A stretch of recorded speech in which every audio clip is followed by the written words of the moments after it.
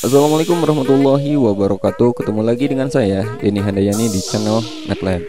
Ini adalah video kedua saya ngebahas materi matriks Pada video ini kita akan belajar operasi matriks Meliputi operasi penjumlahan, pengurangan, perkalian skalar dengan matriks Dan perkalian matriks dengan matriks Bagi teman-teman yang belum lihat video sebelumnya Silahkan cek aja linknya di deskripsi video ini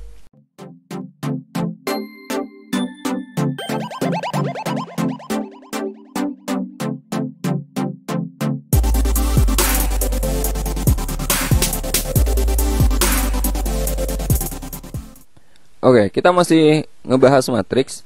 Pada video ini kita akan belajar beberapa operasi matriks. Yang pertama, operasi penjumlahan matriks. Nah, cara menjumlahkan dua buah matriks atau lebih, caranya cukup sederhana. Kita tinggal menjumlahkan elemen atau entry yang seletak, yang posisinya sama. Biar lebih jelas, kita coba jumlahkan uh, dua buah matriks berikut ini matriks ini ordonya 3 kali 2 ya 3 baris 2 kolom. 1 4 3 negatif 1 dan 3 0 kita jumlahkan dengan matriks ini. Nah dua buah matriks atau lebih itu bisa kita jumlahkan. Syaratnya ordonya harus sama. Jadi gak bisa kita jumlahkan kalau kedua matriks ini ordonya beda. Oke? Okay? karena kita akan menjumlahkan yang entry-nya yang elemennya posisinya sama. Nah kita coba jumlahkan matriks ini Cara menjumlahkannya sederhana, teman-teman lihat yang letaknya sama, yang seletak. Oke. Okay? Misalkan yang ini satu, satu ini kan ada di baris pertama kolom pertama. Kita jumlahkan dengan yang baris pertama kolom pertama lagi.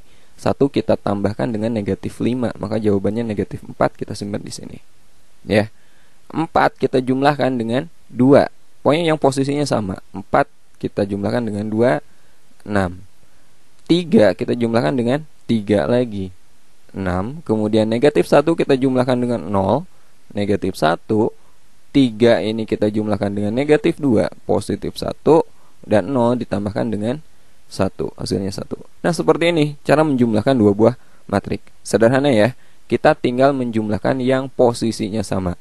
Ingat matrik itu bisa kita jumlahkan Kalau ordonya sama Jumlah baris dan jumlah kolomnya sama. Nah sekarang kita ke operasi kedua Pengurangan matriks ini caranya sama aja dengan penjumlahan ya. Kita tinggal mengoperasikan yang posisinya sama, yang seletak. Contoh, di matriks ini akan kita kurangi dengan matriks ini. Oke, kita kurangi aja yang posisinya sama. Berarti satu kita kurangi dengan negatif 5. Satu dikurangi negatif 5 itu berapa? 6 ya. 4 kita kurangi dengan 2, 2. Kemudian 3 kita kurangi dengan 3. 0 negatif 1 dikurangi 0 negatif 1 kemudian 3 dikurangi negatif 2 berapa? 5 0 kita kurangi dengan 1 negatif 1 nah ini hasil pengurangannya. Simpel ya. Kita kurangi yang uh, elemen yang posisinya sama yang seletak. Oke sekarang kita bahas perkalian uh, skalar dengan matriks ya. Nah langsung aja contoh ya jika A ini suatu matriks, tentukan matriks 3A. Nah, 3 ini skalar, teman-teman. Jadi skalar itu suatu bilangan, bilangan real bisa berapapun dan A ini adalah matriksnya. Nah, bagaimana cara mengalihkan uh, suatu skalar dengan matriks? Kita jawab soal ini. Kita akan mencari matriks 3A. 3A itu berarti 3 kali matriks A. Nah, caranya cukup sederhana. Teman-teman kalikan aja bilangan skalar ini dengan semua elemen matriksnya, ya. Nah, kita kalikan 3 kita kalikan dengan negatif 5 berarti negatif 15 Nah seperti itu. 3 kita kalikan dengan 2 6 3 kita kalikan dengan 3 9 Kemudian 3 kita kali dengan 0 0 Kemudian 3 kali negatif 2 Negatif 6 3 kali 1 3 Nah ini adalah matriks 3A jadi perkalian skalar dengan matriks caranya teman-teman kalikan skalarnya dengan semua elemen pada matriks tersebut. tersebut. Oke, sekarang kita bahas operasi berikutnya yaitu perkalian matriks dengan matriks. Nah, operasi ini tidak sesederhana tiga operasi sebelumnya. Misal diketahui matriks A ordonya M kali N dan matriks B ordonya N kali P, perkalian matriks A dan B akan menghasilkan matriks baru yang berordo M kali P. Jadi ditulis A ordo M kali N dikali B ordo N kali P sama dengan matriks AB ordonya M kali P.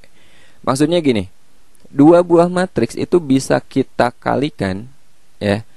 Nah, ordo itu kan baris kali kolom ya. Ini baris, ini kolom. Nah, syarat dua buah matriks itu bisa dikalikan kalau jumlah kolom pada matriks pertama itu sama dengan jumlah baris pada matriks kedua. Analoginya gini, biar teman-teman lebih paham. Tahu kan kartu domino? Yang kayak gini nih. Kartu domino ini bisa dipasangkan jika gimana? Satu tiga ini bisa dipasangkan jika di sini tiga lagi kan? Tiga berapa? Tiga empat misalkan. Nah sama jadi domino ini kalau kita analogikan sebagai uh, apa ordo matriks itu bisa kita kalikan jika ujung matriks pertama atau jumlah kolomnya itu sama dengan awal matriks kedua atau jumlah baris pada matriks kedua. Oke. Okay? Nah, biar lebih jelas kita coba beberapa contoh berikut ini. Diketahui matriks-matriks berikut. Ada matriks A, B, C, dan D. Ini ordonya beda-beda. Di antara perkalian berikut, manakah yang dapat diselesaikan? dan tentukan ordo hasil perkaliannya. Yang pertama, matriks A kita kali dengan matriks B ini bisa dikalikan enggak? Bisa kita selesaikan enggak? Lihat aja ujungnya, jumlah kolomnya. Di sini 3. B, jumlah barisnya di sini 2. Sama enggak? Enggak sama kan?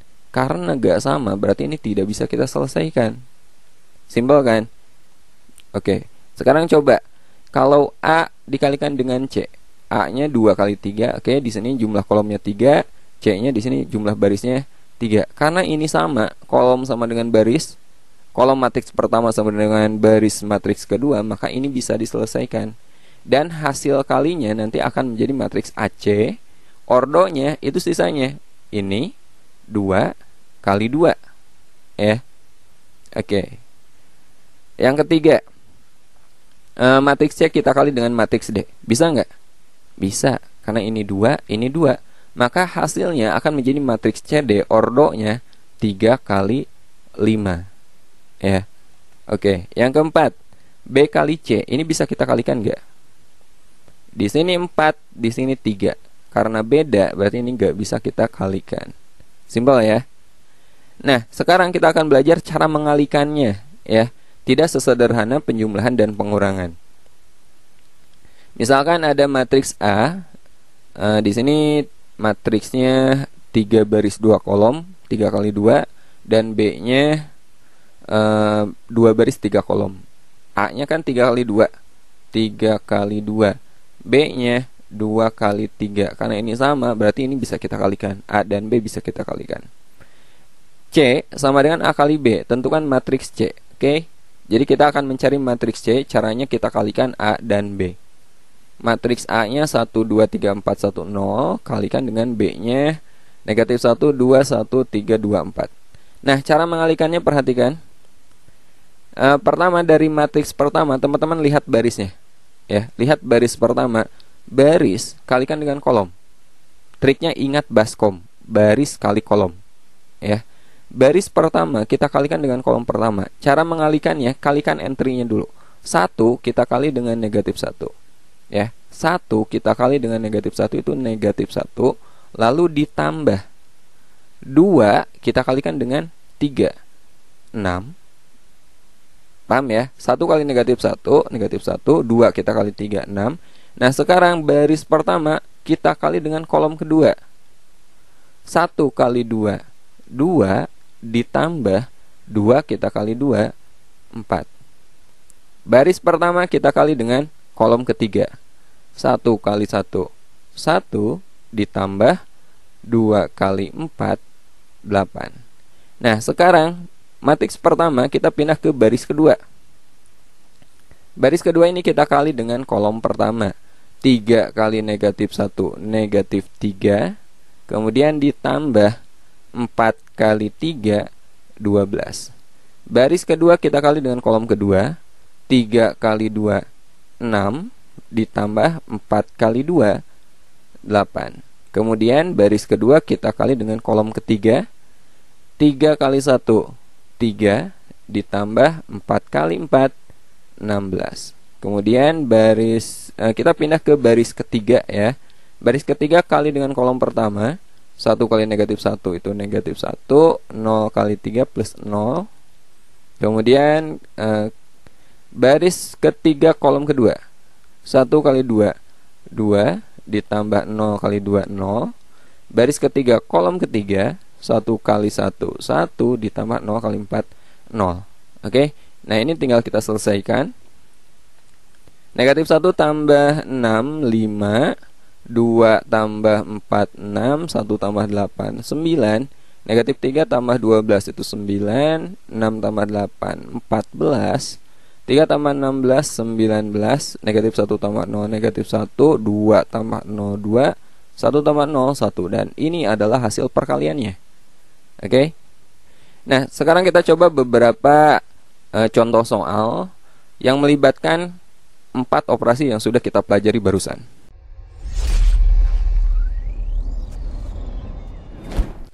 Oke, kita bahas contoh pertama. Diketahui matriks A negatif 1038 dan matriks B 096 negatif 7. Jika A dikurangi B sama dengan C, maka matriks C transpose adalah kita akan mencari C. C itu A dikurangi B. C sama dengan A dikurangi B.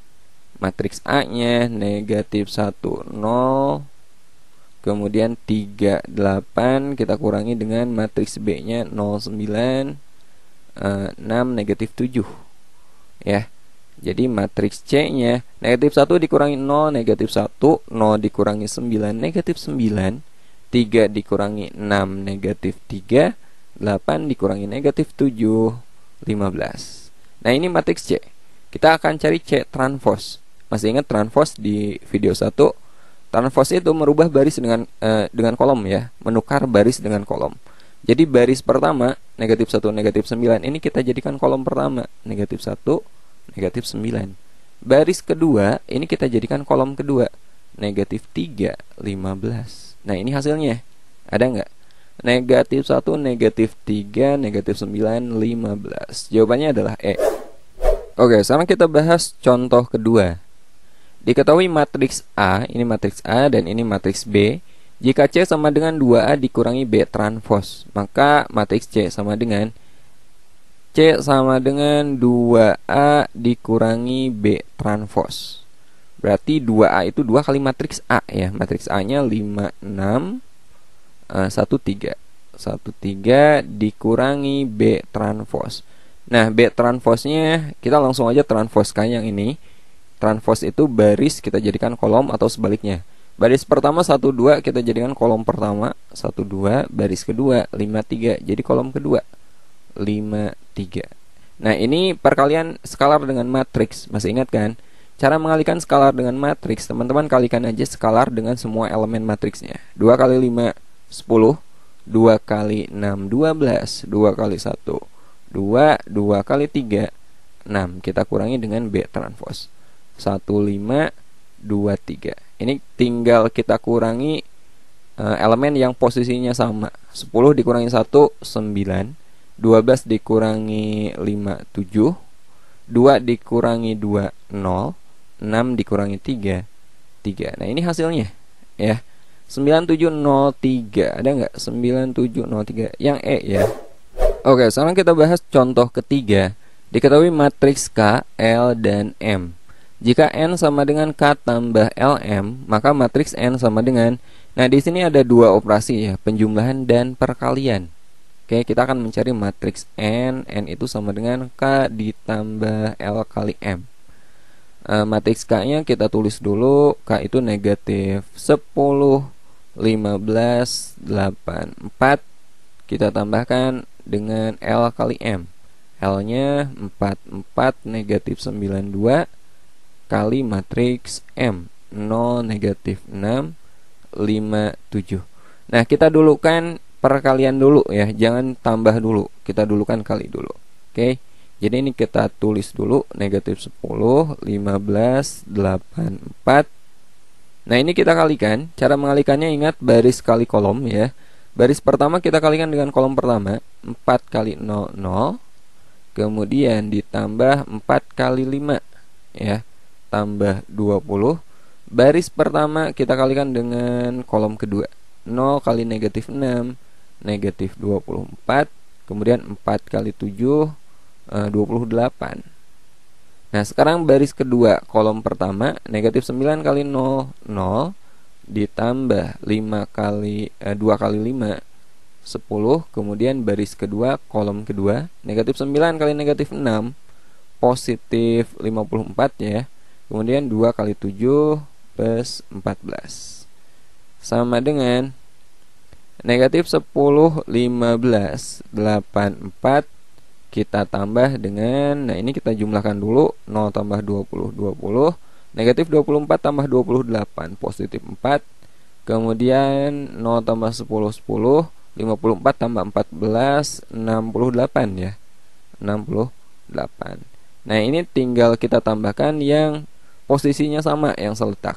Negatif 10 tambah 20 itu positif 10 15 ditambah 4 19 8 ditambah 10 18 dan 4 ditambah 68 72 ya 72 Nah ini hasilnya. 10 19 18 72 ada nggak? Yang C ya. Jawabannya adalah C. Oke sekarang kita bahas uh, contoh keempat Diketahui matriks A, matriks B, dan matriks C Dan matriks D ada empat matriks. Jika A tambah B sama dengan C kali D ya A tambah B A nya itu negatif 2Z 4 2 5 kita tambah dengan matriks B B nya itu negatif 4 negatif X negatif Y dikurangi 5 dan positif Y sama dengan C kali D C nya negatif 1 3 0 2 kali D nya 4 1 negatif 2 3 Nah ruas kiri ini tinggal kita tambahkan aja ya. Negatif 2Z ditambah negatif 4 Negatif 2Z kurang 4 Kemudian 4 ditambah negatif X Ya 4 min X. 2 ditambah negatif Y dikurangi 5 Berarti negatif Y Negatif 5 tambah 2 itu negatif 3 Kemudian 5 ditambah Y Y plus 5 Nah, yang ini ruas kanan ini kita kalikan. Ingat baris kali kolom. Baris pertama kita kali dengan kolom pertama. Negatif 1 kali 4 itu negatif 4 ditambah 3 kali negatif 2 negatif 6 ditambah negatif 6 berarti kurangi 6 ya. Baris pertama kolom kedua. Negatif 1 kali 1 negatif 1 3 kali 3 9 Kemudian baris kedua kolom pertama 0 kali 4 0 2 eh, kali negatif 2 negatif 4 Baris kedua kolom kedua 0 kali 1 0 2 kali 3 6 Tambah 6 Oke? Okay?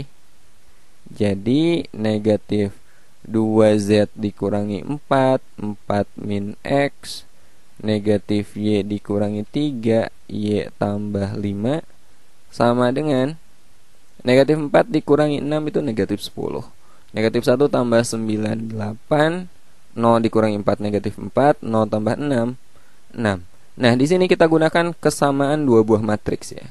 Kesamaan dua buah matriks itu Dua buah matriks sama jika entry yang letaknya sama Nilainya sama.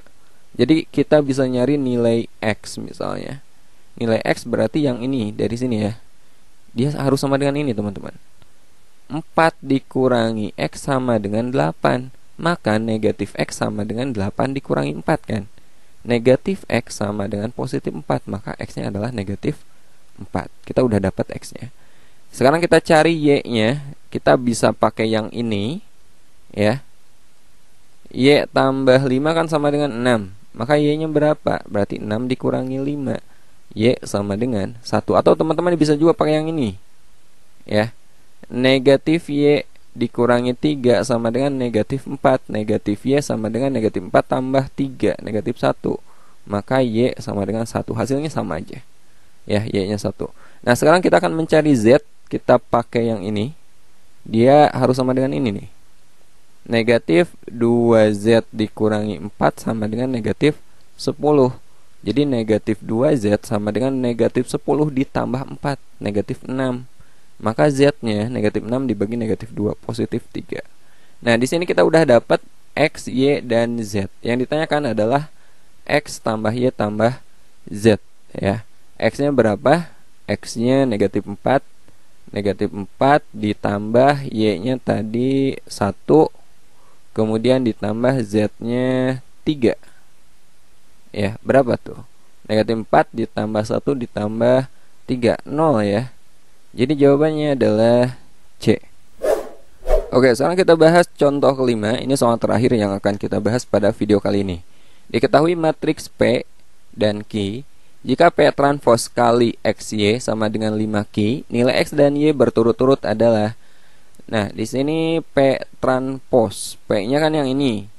P transpose P transpose itu kita menukar baris dengan kolom ya. Baris pertama 2 negatif 3 itu kita jadikan kolom pertama 2 negatif 3. Kemudian baris kedua kita jadikan kolom kedua 6 1. Nah, ini P transpose. Di sini P transpose kita kali dengan XY. P transpose 26 negatif 3 1 kita kalikan dengan XY. P transpose kali XY. XY sama dengan 5 ki 5 kali matriks Q. Matriks Q-nya 02 ya. Nah, ini kita kalikan aja. Baris pertama kali kolom pertama. 2 kali X itu 2X. Tambah 6 kali Y. 6Y. Kemudian baris kedua kolom pertama. Ini karena satu kolom ya. Negatif 3 kali X. Negatif 3X.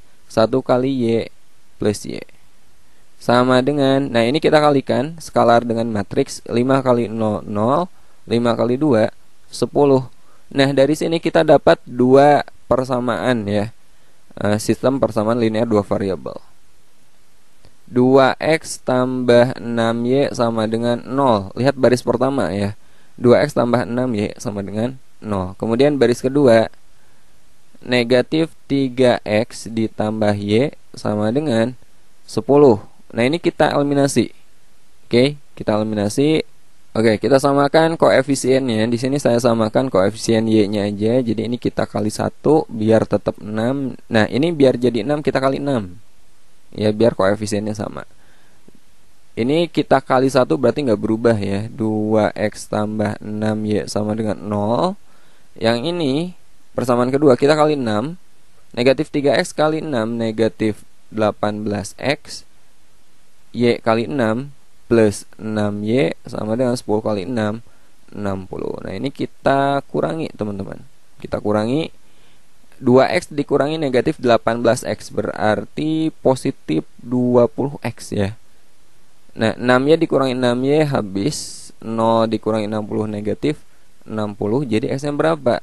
Negatif 60 dibagi 20 Negatif 3 X nya negatif 3 sekarang kita nyari y-nya. Saya substitusi aja ke yang ini ya. Negatif 3x tambah y kan 10. Berarti y itu sama dengan 10 ditambah 3x. 10 ditambah 3x-nya negatif 3. Jadi 10 3 kali negatif 3 kan negatif 9 Dikurangi 9 10 kurangi 9 1 Jadi kita dapat X-nya negatif 3, Y-nya 1 ya. X-nya negatif 3, Y-nya 1 Jadi jawabannya adalah A Negatif 3 dan 1 Berturut-turut kan? Jadi X dulu baru Y. Oke itulah beberapa contoh soal Untuk materi operasi penjumlahan pengurangan Perkalian skalar dengan matriks Dan perkalian matriks dengan matriks. Sampai ketemu di video berikutnya. Insya Allah kita akan belajar Determinan matriks Assalamualaikum warahmatullahi wabarakatuh.